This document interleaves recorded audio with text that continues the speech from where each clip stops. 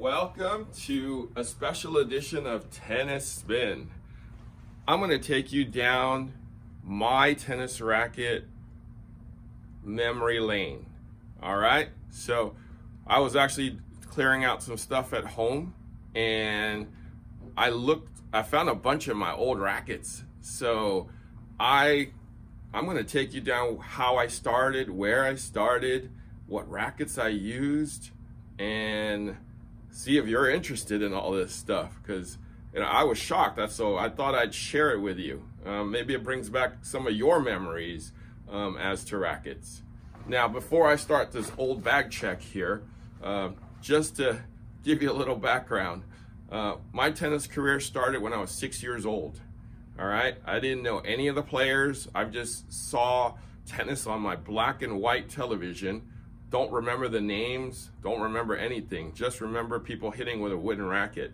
So I said, I said to my father, I was like, I want to play tennis, right? So we went to Walgreens, not Woolworth, Walgreens, right? And I didn't know about rackets. I just grabbed any old racket.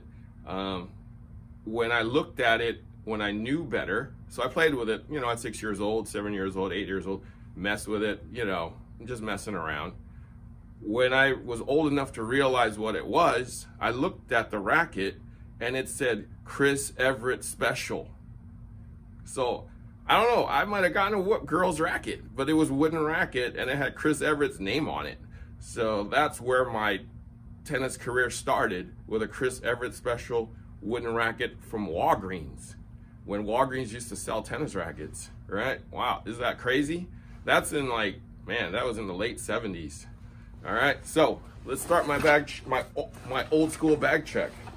Remember these bags? Remember it was so cool to, uh, you know, Sampras and Agassi, those guys carrying it around like this, around their back, you know, using the handles only without the straps.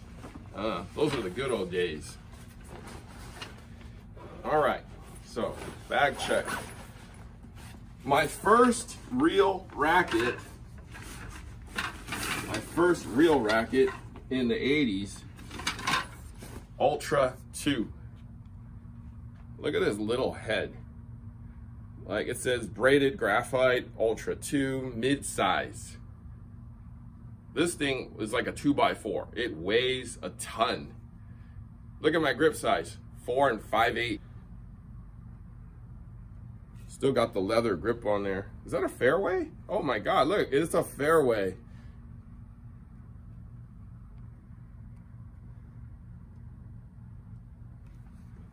So that's racket number one.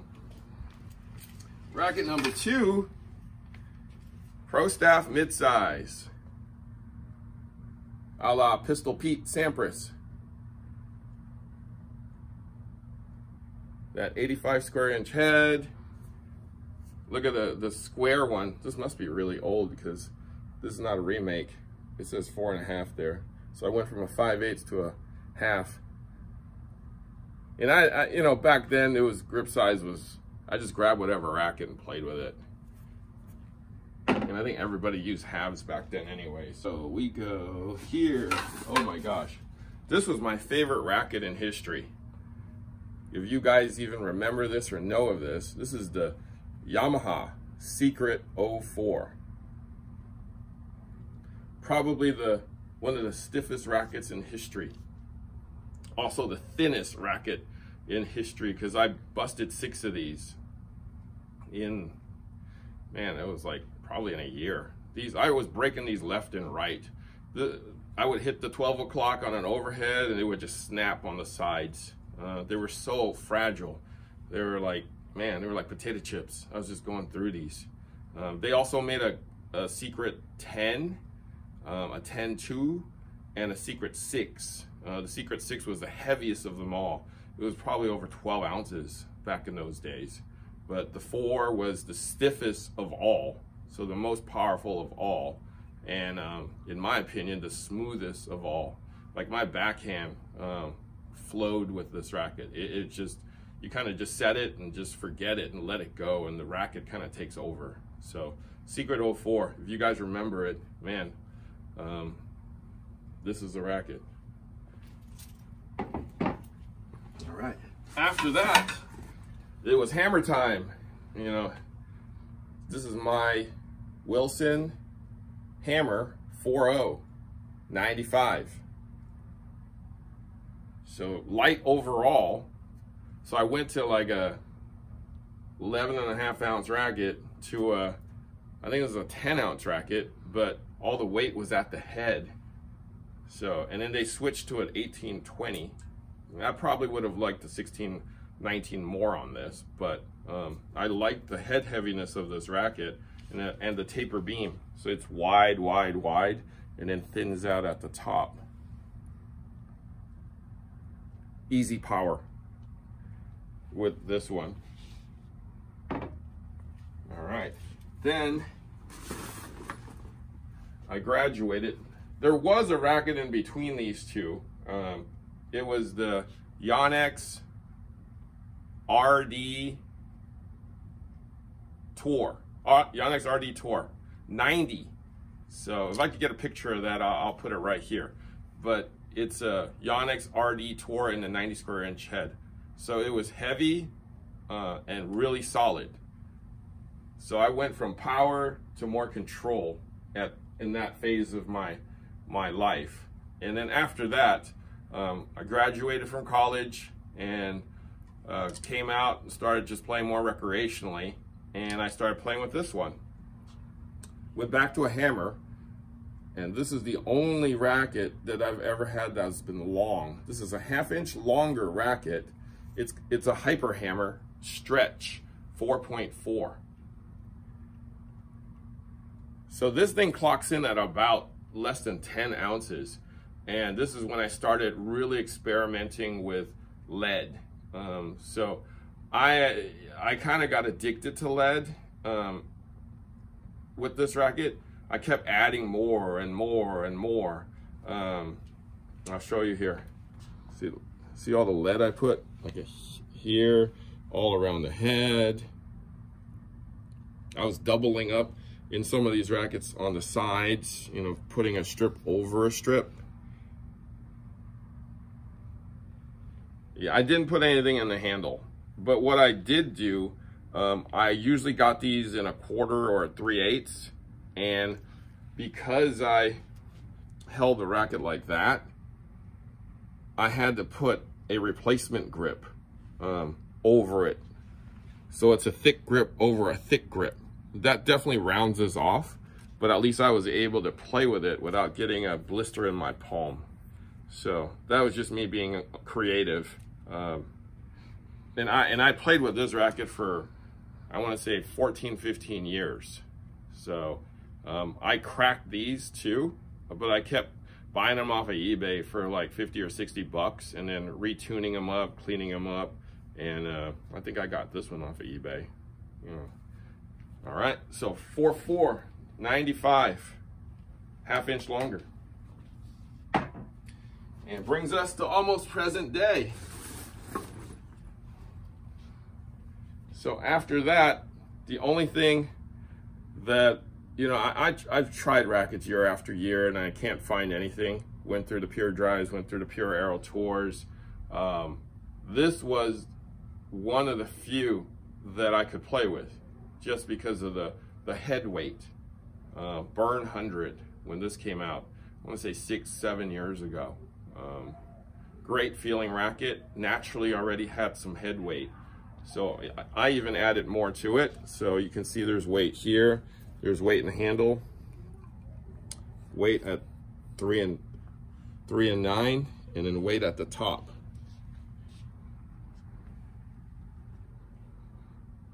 All right, so use that for probably two and a half years. Then they discontinued that because it didn't make the 100 anymore. Actually, no, I take that back. They changed that. They changed that racket. They added countervail to it. Um, I had to have the orange version of this. So I got a few of these because I just love Halloween. Orange and black. So, so this is the countervail version. It took me a while to get adjusted to it because um, it muted the frame. So I, I had to kind of find the sweet spot again because I, you know, this, this you feel everything. This, you, you, it's way, way more muted. So, uh, and again, I, I added more lead to this new one. So you see more lead in the throat area. Now I went strips of lead down the side and up top. All right. So at, at the point where I came here, I decided to really go down to a 3 8 So this basically has lead with a shrink wrap, right? And then I, I didn't uh, wrap an extra replacement grip. So making it, you know, kind of more like a 3 8 half, like a true. Whereas on this one, it's more like a 5 8 3 quarters. So, and then now I'm more like, you know, like a 3 8 3 8 half on these with a shrink wrap underneath. And that's a white shrink wrap, so it's 1 16th, not 1 8th. All right, and then that leads me to the modern day uh, Clash Tour, Clash Pro that I use, that I, uh, that was after this one. Okay, so what I'm gonna do is do a quick measurement of these for you. Um, just to weigh balance and swing weight these just to see if there's a commonality in this. So let's get started. All right, at the scale, my Ultra 2 from way back in the day. Let's see how much this thing weighed. Woo! 374, man.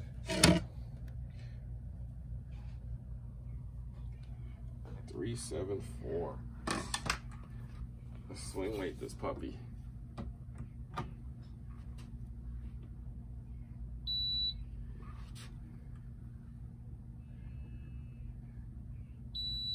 Three sixty four.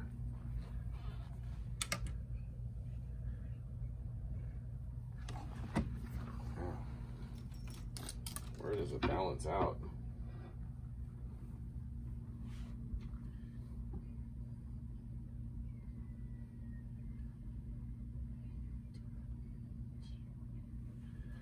About 32.3 so 333 millimeters on the balance. Man that was a heavy racket. That's crazy. Let's check out the pro staff mid. Pro staff mid 353.5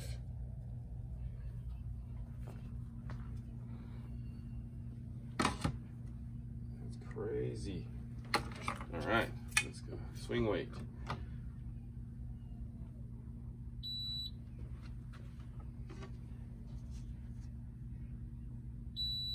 Three, three, six. Lighter in the swing weight. Balance.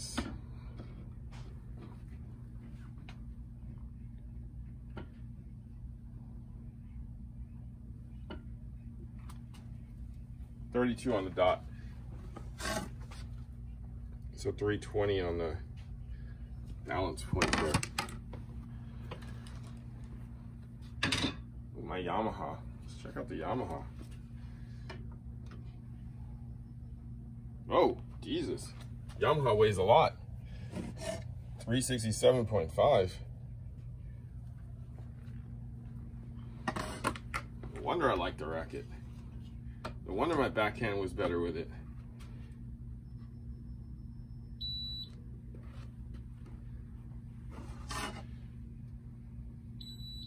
Three forty three on the swing weight.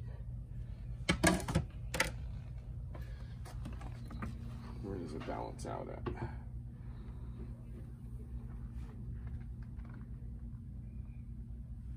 Thirty-two, so three twenty millimeters.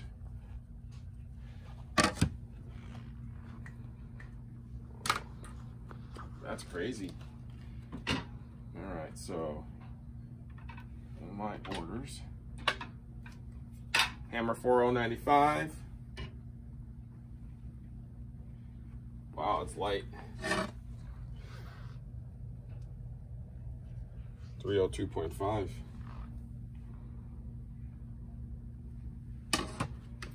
Swing weight. Let's see, the, I'll bet the swing weight's pretty high on this one.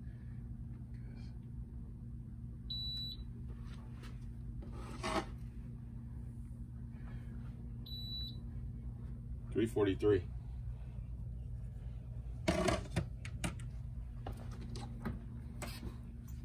So swing weight's the same as a Yamaha.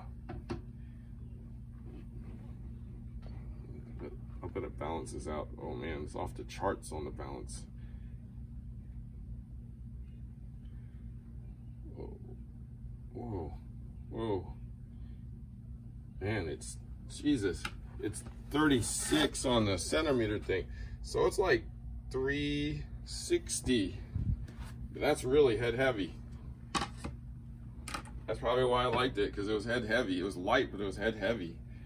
All right, going into my 95 4.4 here, my 4.4 Hyper Hammer.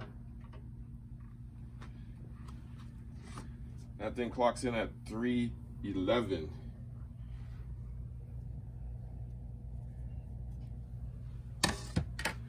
Swing weight.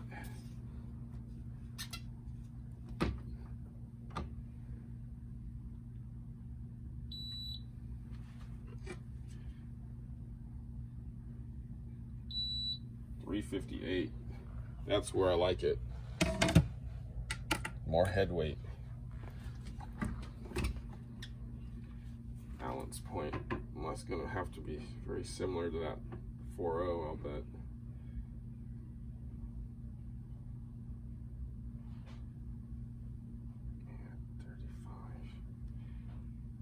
about 35.7. So 35.7, 357. Head heavy. Going into the burns, first generation burn, 100. Overall weight, 338.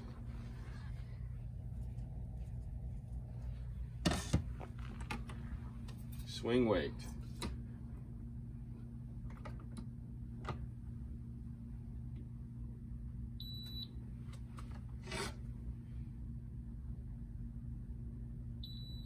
Three fifty six.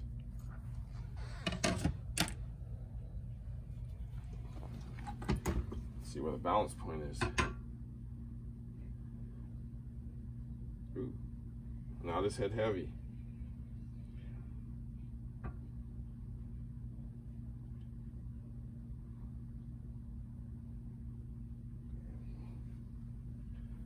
Thirty-three point five. So three three five millimeters. All right. Final racket.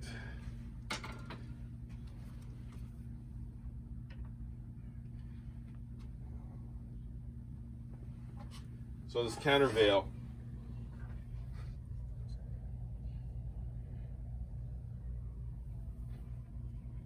352.5. That's pretty heavy. Going in there. Swing weight.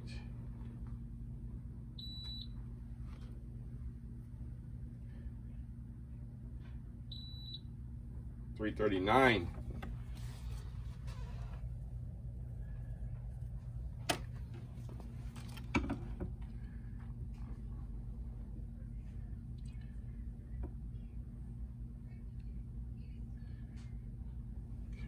So it's about 32, 32.3. So 323. All right, so I got my chart here. All right, to sum up my history of rackets, um, it looks like I like heavy rackets. Like I always say, I like two by fours. Um, I like head heavy rackets too. Right? And this this chart or the history of my rackets show that. Um, I mean, I started with a three 374 gram racket on that Ultra 2, and it's only kind of gotten lighter since then. But um, Yamaha was my probably my favorite racket out of the bunch, and that's 367.5. Uh, so uh, with a swing weight of 320. So that's why um, I, I say it's so smooth because it was great for my backhand. So um, I don't know if you guys can do this, but this this was actually a fun exercise for me to to learn, you know, my my old rackets, my weights, my swing weights, uh, and my balances because I've never done this before. Um, I know you guys keep asking me for RA machine or stiffness frame machine. I'm trying to get one, uh, but it, it, I don't know if it exists to sell me right now. Um, I've tried for years. I did used to have a Babolat RDC machine, which measured that, but um, it broke 15 years ago. Uh, I had that thing for probably 20 some years. Like I got it when it first came out, like in 1991. So, uh, but you know, I'll keep searching. I'll keep searching, but maybe I can jerry rig something that'll tell me a stiffness of every racket. But um, I'm gonna have to take a little time on that one. Okay, but I'm working on it. Okay, I'm working on it. All right. Thanks for watching Tennis Spin, where we put our spin on your tennis.